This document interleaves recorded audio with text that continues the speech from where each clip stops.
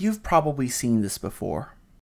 Sine, cosine, defined with the simple right triangle. Sine is opposite over hypotenuse. Cosine is adjacent over hypotenuse. Tangent is opposite over adjacent. And this is what we call so, ka, toa. But what happens if we change the size of the triangle while keeping the angle the same?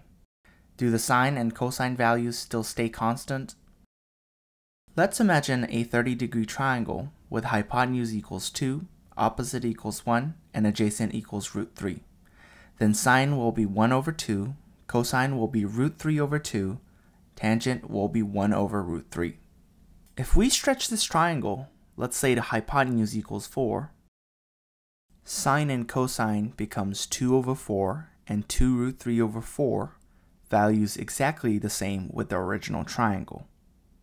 Now, if we shrink the triangle, let's say the hypotenuse equals 1, again, the values are exactly the same with the original triangle. So even when we stretch or shrink the triangle, as long as the angles stay the same, the ratios between sides remain constant, meaning all such triangles are similar. So sine and cosine only depend on the angle, not the size of the triangle. But there's a problem. This only works for angles less than 90 degrees.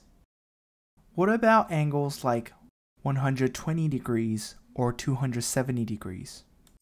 As we increase the theta, the triangle gets taller while becoming narrower at the base. However, as the angle reaches 90 degrees, the triangle becomes a line and not a triangle anymore. So above 90 degrees, we can't build a triangle for those. So, to keep using sine and cosine, we need a new idea. To make things even simpler, let's pick one triangle, the one where the hypotenuse is exactly 1. Let's find sine and cosine of this triangle, leaving the tangent aside since the former two are the most basic ones. For the base and height, let's call them x and y. Since hypotenuse is equal to 1, opposite over hypotenuse becomes just opposite, making sine equals to y. Adjacent over hypotenuse also becomes just adjacent, making cosine equals to x. Therefore, when hypotenuse is equal to 1, sine becomes the height, and cosine becomes the base of the triangle. Now let's put this triangle on our coordinate grid and rotate it to see how the triangle behaves as we change the angles. We'll always start the angle from the positive x-axis and rotate counterclockwise for positive angles. Here we keep the hypotenuse at length 1 and rotate the triangle angle by angle. The tip of the triangle traces a perfect path, a circle with radius 1. This is called the unit circle. Its center at the origin and its radius is exactly 1. Since hypotenuse equals 1 makes the opposite equals sine and adjacent equals cosine, the x-coordinate of the point becomes cosine theta and the y-coordinate of the point becomes sine theta. Therefore, that tip of the triangle always lands on a point with coordinates cosine theta, comma, sine theta. These coordinates are now the new way we define sine and cosine. We can now define sine and cosine for any angle. For example, at 120 degrees, the coordinate of the point is cosine 120 degrees, comma sine 120 degrees. Now you should notice that the sine and cosine are not always positive. Since we're in second quadrant, where x values are all negative, cosine 120 degrees is a negative value. Then what about 225 degrees? The coordinate will be cosine 225 degrees, comma sine 225 degrees, both negative values since we are in third quadrant where both x and y values are negative. Finally, at 330 degrees, sine is going to be negative as y values are all negative in the fourth quadrant. Now, we saw how sine and cosine behave in different quadrants. But what happens if we reach 360 degrees, a full circle? Can we go further? Since the triangle can keep rotating, Sine and cosine keep repeating.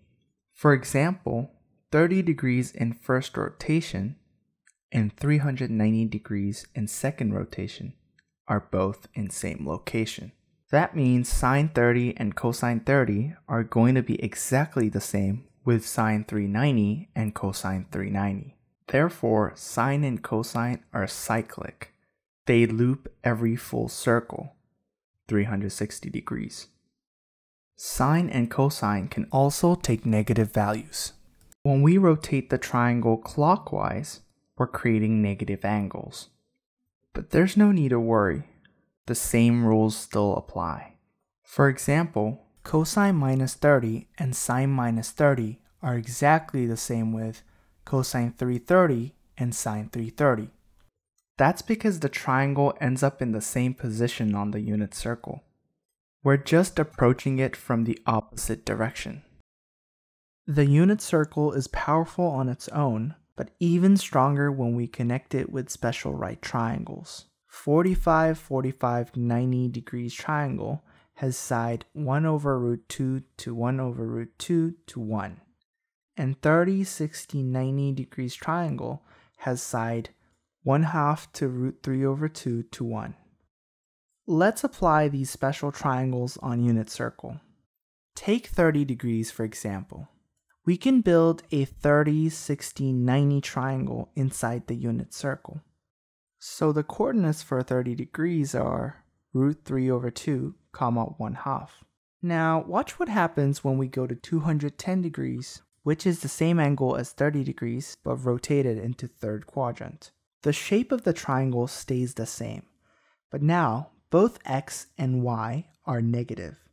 That means the coordinates at 210 degrees are minus root 3 over 2 comma minus 1 half. What about minus 45 degrees? Since minus 45 degrees is 45 degrees clockwise from the positive x-axis, we use the 45, 45, 90 triangle. Compared to 45 degrees, the shape of the triangle stays the same but now y is negative. That means the coordinates at 45 degrees are root 2 over 2, comma minus root 2 over 2. This symmetry is what makes the unit circle so useful. It lets us use just a few known triangles to figure out values in every quadrant. Alright, we began with triangles simple shapes, and simple ratios. But as we turned those triangles and placed them in a circle, something amazing happened. We extended trigonometry beyond 90 degrees, beyond triangles, and into a system that works for every angle positive, negative, or even beyond a full rotation. So, next time when you hear sine or cosine, Think of them as x and y coordinates on the unit circle, defining angles beyond just right triangles. This video is brought to you by LightHouse Global, your personal online tutoring for IB college applications and school subjects.